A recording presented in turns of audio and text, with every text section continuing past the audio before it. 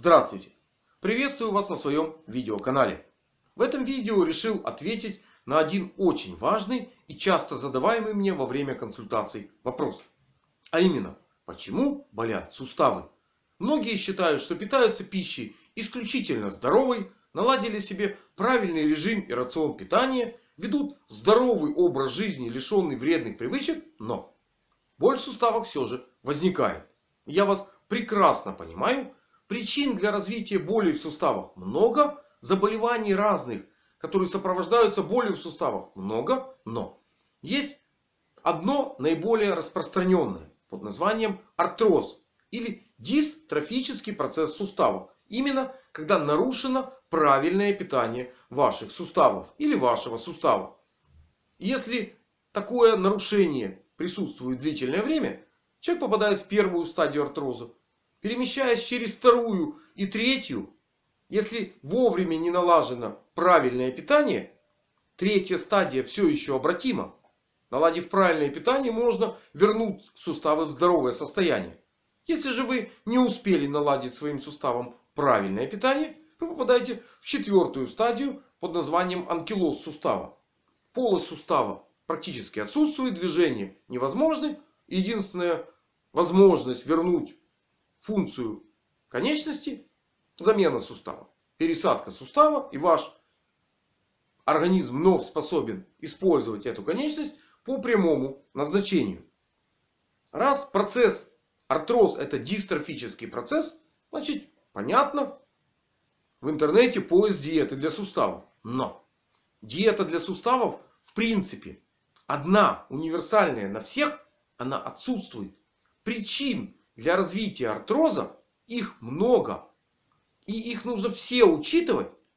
Для того, чтобы составить индивидуальную диету для ваших суставов. Но, просмотрев это видео до конца, я подскажу вам, как в домашних условиях, самостоятельно, даже не имея медицинского образования, составить для себя правильную индивидуальную диету для ваших суставов. Также вы узнаете, что такое диетическая вода. Почему вам нужно прекратить пить техническую воду, которая чаще всего суставам и вашему организму в целом вредит. И лучше перейти на диетическую воду. Ну и какие коррективы возможно нужно внести в ваш образ жизни. Чтобы он стал более здоровым по отношению к вашим суставам. Потому как боль в суставах ограничивает двигательную способность. А это нарушает работу сердечно-сосудистой системы и всего организма вместе взятого. Поэтому смотрите это видео дальше. Я думаю, что достаточно много интересной и полезной для вас информации вы сегодня узнаете. Самостоятельно составить программу правильного питания для суставов сложно, но возможно. Для этого нужно учитывать ваш индивидуальный уровень здоровья и в соответствии с имеющимися заболеваниями вносить специфические коррективы как в режим питания, так и в рацион питания. В ваш образ жизни. В этом видео я расскажу основные ключевые моменты. Которые вы должны учитывать в составлении такой системы питания. Но по умолчанию для всех. Пища должна быть максимально здоровой. Чем меньше различных химических веществ неестественного происхождения будут поступать с пищей в ваш организм, тем меньше работать печени, почкам, как основным фильтром, очистителем крови. Проще будет печени наладить правильное питание ваших суставов. И в данном случае вопрос, почему возникает боль в суставах, у вас постепенно отойдет на второй план. Он не будет для вас иметь значения, потому как боль в суставах почему-то сама по себе куда-то исчезла. Суставы просто получили правильное питание. Также очень важный момент. После того, как вы выбрали пищу. Она здоровая. Да, она правильная. Она должна быть вкусная, ароматная. Прекрасно выглядеть. Эти факторы влияют на переваривание пищи. И усвоение в вашем организме тех полезных веществ, которые в ней находятся. Тогда и суставы, и ваш организм переходят на более правильное питание. Следующий момент. Когда пища попадает в полость рта, ее нужно правильно пережевывать. Ну, такие видео есть на моем канале. Не буду сейчас э, отвлекать ваше внимание на как правильно пережевывать пищу растительного животного происхождения. Такие видео есть, посмотрите. Это несложно сделать. Но вот что делать после того, как вы пищу уже переживали и собираетесь ее проглотить? Вот какие особенности дальше в организме могут влиять на этот процесс? Вы узнаете прямо сейчас. После того, как вы здоровую, правильно приготовленную пищу переживали в зависимости от ее состава и собираетесь проглотить, в борьбу с артрозом, либо за профилактику артроза, включается ваш желудок. И не следует обращать внимание на то, что у многих выявлен гастрит, гастрододенит, либо вы подозреваете о их наличии. Не они имеют в данном случае смысловое значение. А только секреция желудочного сока. Если она сохранена, либо даже повышена, артроз вам пока не угрожает. Да, желудку это вредит, могут образовываться даже язвы. Вы периодически переходите на стол по Певзнеру номер один, но Явление артроза вам пока не угрожают, пока секреция не снизится. В этом случае снижается способность в желудке переваривать белковую пищу и дезинфицировать любую пищу. И в этом случае угроза развития артроза появляется. И основная диета в данном случае для ваших суставов это стол номер два. Кстати, он подходит и тем, у кого есть хронический панкреатит Чаще всего он со сниженной секрецией. В этом случае вы убиваете сразу двух зайцев. И желудку, и поджелудочной помогаете. Стол номер два вам в этом случае помогает. Но это не единственный момент, который может регламентировать ваше питание. И что еще вам нужно учитывать, вы узнаете прямо сейчас. Пройдя этап переваривания в желудке, пища перемещается в двенадцатиперстную кишку и попадает под прицел ферментов поджелудочной железы и желчи. Если когда-либо ранее у вас был диагностирован хронический холецистит, дискинезия желчного пузыря, были какие-то анатомические особенности строения желчного пузыря и внепеченочных желчных протоков, то к возрасту 50+, когда явления артроза проявляются, они могли трансформироваться в желчекаменную болезнь, либо калькулезный холецистит которые регистрируются в этом возрасте примерно у трети населения, в 4 раза чаще у женщин, чем у мужчин. Что дает застой желчи, вернее, что он у вас отнимает? Желчью переносится в организм как жирорастворимые витамины А, Е, Д, так и кальций. Все они нужны как для нормального питания сустава, так и костной ткани. И вместе с артрозом у вас может проявиться еще и остеопороз. Как правило, они идут рядышком, потому как причина находится вместе. И для того, чтобы заниматься профилактикой либо лечением артроза, в данном случае у вас появляется стол 2 дробь 5. Как минимум. Или 1 дробь 5, если у вас секреция желудочного сока сохранена. Но это не единственная комбинация диет, которая в данном случае вам нужна. И какую еще комбинацию, скорее всего, вам нужно использовать. Вы узнаете прямо сейчас. Со стороны кишечника при артрозе часто регистрируется хронический энтерит, энтероколит и сопутствующий им дисбактериоз кишечника. Который многими не признается как диагноз. Вместе с тем, если микрофлора в кишечнике изменена, соотношение условно патогенной и патогенной, то как-то это нужно называть. И не следует использовать в данном случае как основной стол номер 4 по Певзнеру Потому как он имеет в данном случае лишь корректирующее значение. А основное состояние пищеварительной системы.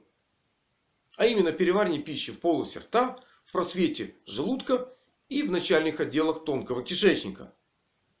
Если там пища не переварилась, то перемещаясь по кишечнику, в котором находятся разные виды микроорганизмов, они имеют право использовать эту пищу по своему усмотрению, дополнительно уменьшая количество пищи, которое может сосаться в кровь.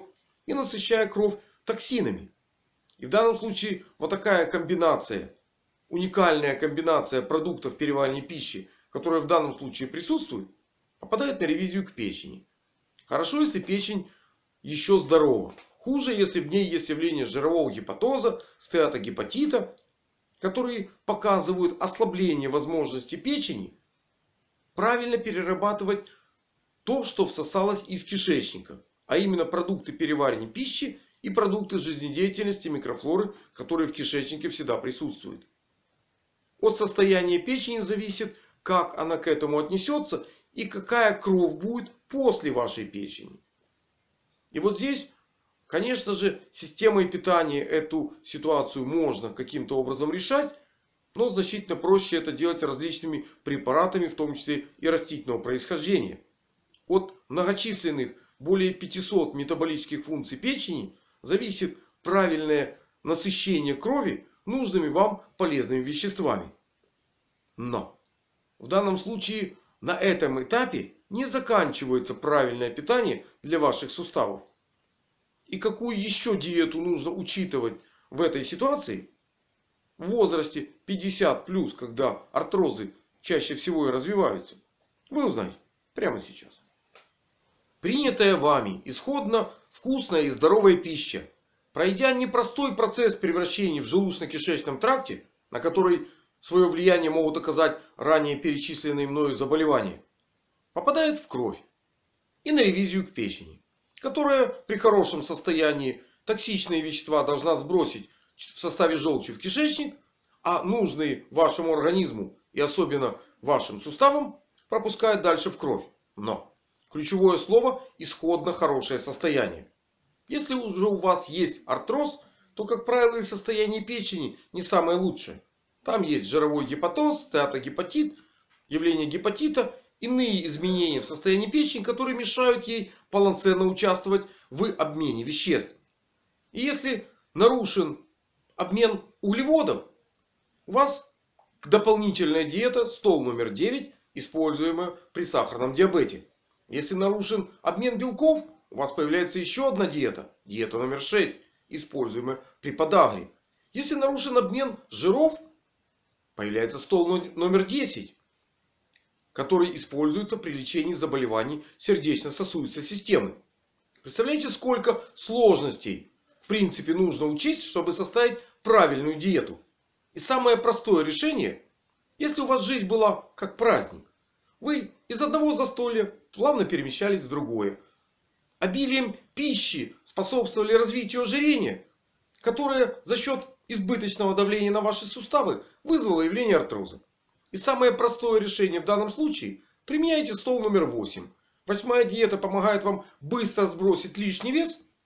И ваши суставы вздохнут с облегчением и будут работать исправно, как и ранее. Я сознательно опустил одну диету, о которой расскажу прямо сейчас, потому как с ней связан еще один компонент правильного питания в данном случае. А именно диетическая вода для ваших суставов. В каждом конкретном случае вам нужна разная вода. Для того, чтобы правильно происходил и процесс пищеварения, и доставки продуктов пищеварения к вашим суставам. И какие виды диетических вод вам лучше использовать, вы узнаете прямо сейчас.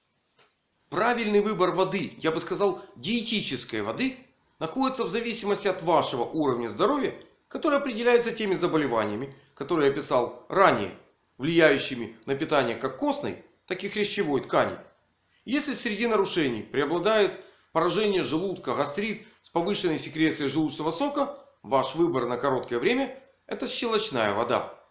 Если же гастрит с нормальной либо со сниженной секрецией, вы выбираете между нейтральной и кислой водой.